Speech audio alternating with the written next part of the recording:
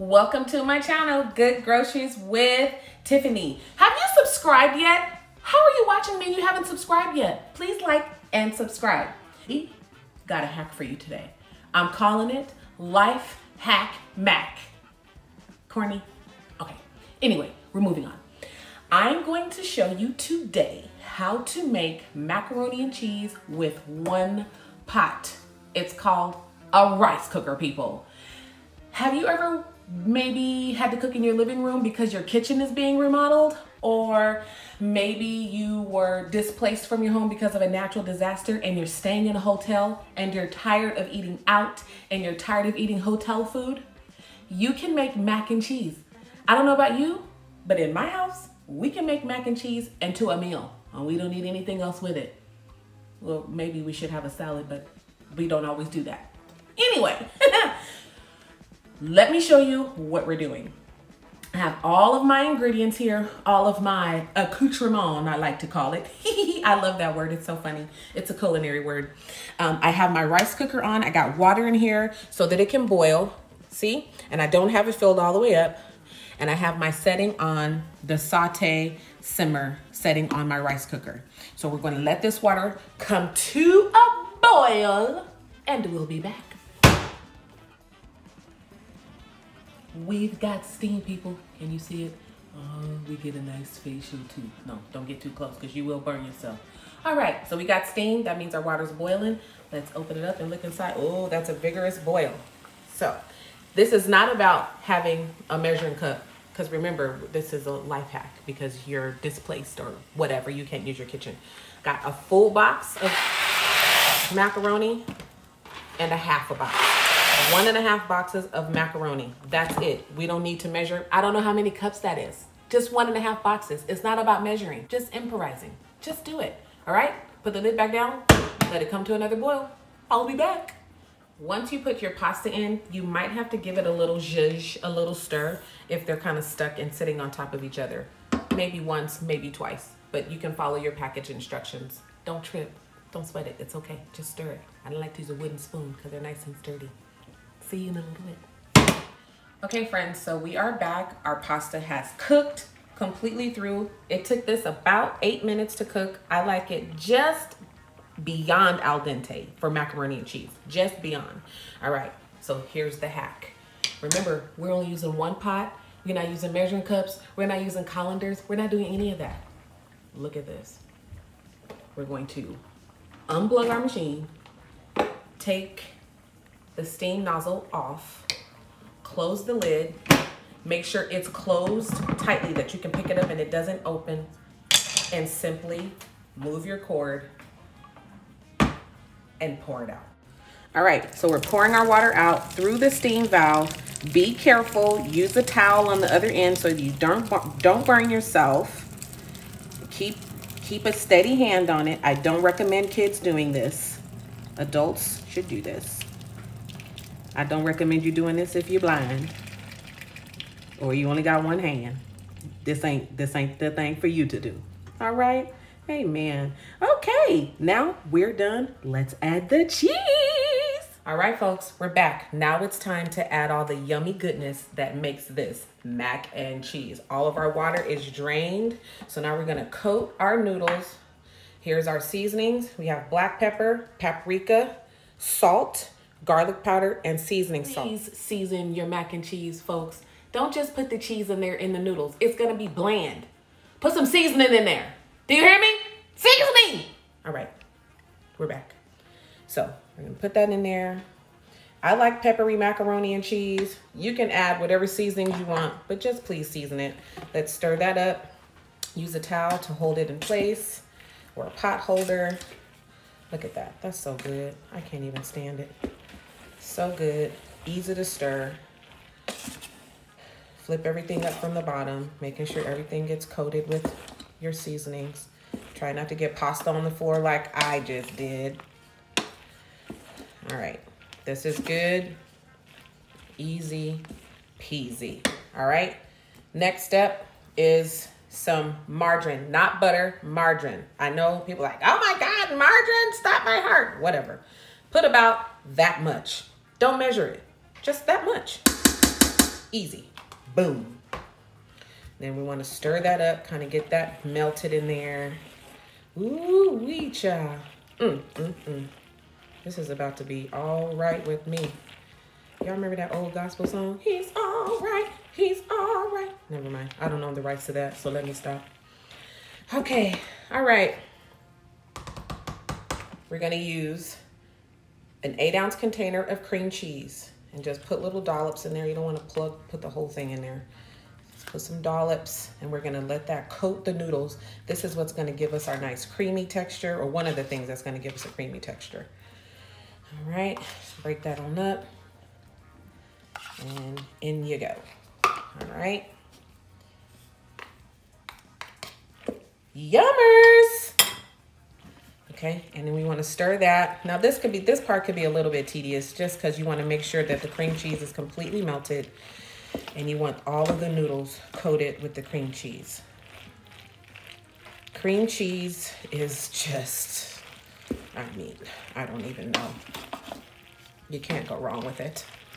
So this, the cream cheese is really acting in place of what would be like maybe a bechamel or a white sauce, something that you would use to uh, make a cheese sauce with.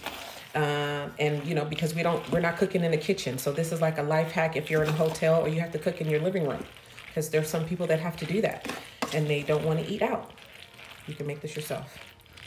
All right, so our cream cheese is melted.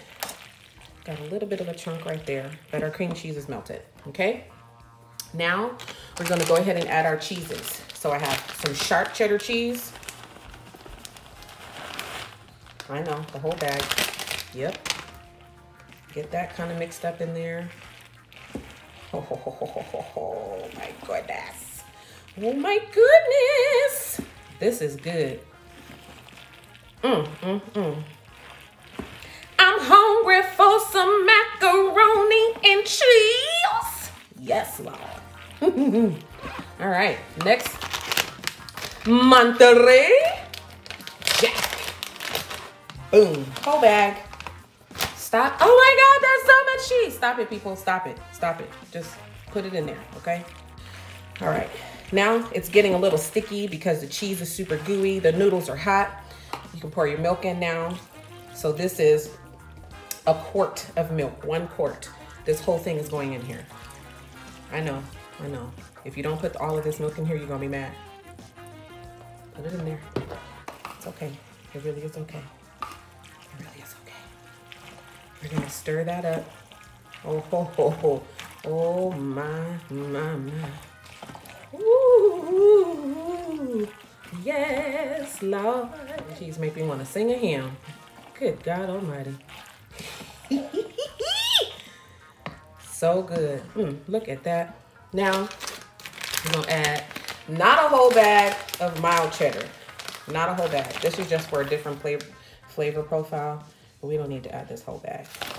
Just about a couple of hands, maybe a couple of palms full. Now we're gonna add, listen, yes, it's processed cheese, but we're gonna put it in here. Be quiet. Put it in there, just some chunks. This is also gonna give us our creaminess. Because remember, we're not making a cheese sauce or bechamel. So we need some creaminess in here. We don't want it to be like stiff. So maybe about three quarters of a small log of Velveeta cheese. You don't need the whole thing. Okay? And then we're gonna just push that Velveeta down in there. It'll melt, don't worry. Push the cheese down in there. Mix it, and then taste it. If you wanna add more seasonings, add more seasoning. So you see how this is nice and gooey? Listen, mac and cheese should be creamy and savory. Say it with me, savory. You don't want no bland macaroni. Anyway, so we're gonna close the lid and we're gonna put our pot, turn it back on. We've plugged it back up and we're gonna put it again on the saute and we're just gonna kind of let that go for about five minutes. You'll start hearing it sizzle and bubble Make sure you don't burn it and it sizzle and bubble and everything will come together and you're gonna have mac and cheese. Can you dig it? All right, people.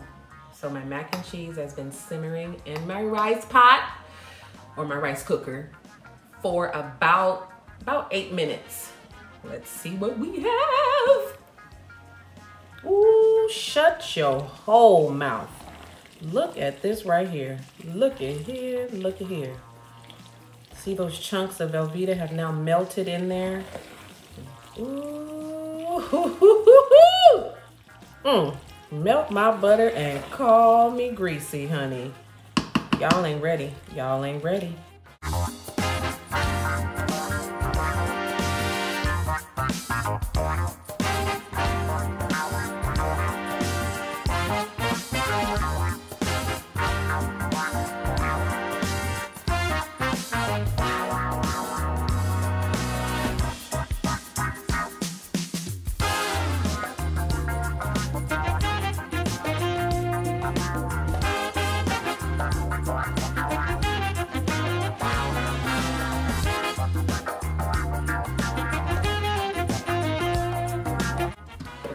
Right, we're going in. We're going in. Oh my gosh, would you look at that?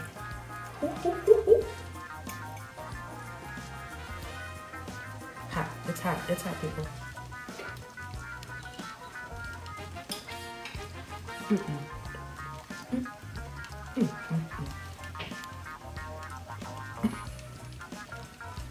Y'all not ready? Y'all are not ready. So, have some alternatives for you. If you don't have a rice cooker, you can definitely do it in one of those multi-cookers, like an Instapot or something like that, but don't boil your noodles on the pressure cooker setting because they will explode. Just use the saute simmer set setting on your multi-cooker. Um, again, if you don't have a rice cooker, this is not for everybody. It's just for if you're kind of displaced or maybe you just want to use one pot, you don't want to use a whole bunch of stuff going on the rice cooker is the way to go. So this is a rice cooker hack. You can have, look at this.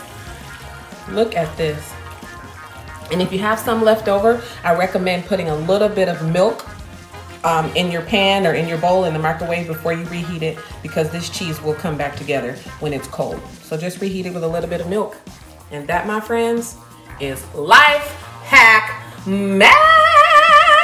Now, don't forget to subscribe and life. I love you all. Thank you so much for watching. Good Groceries with Tiffany. This, this, this, this is Good Groceries. Mm-hmm. Mm-hmm. Good over here. Mm. Don't mind me. I'm just gonna keep it in. Mm-hmm.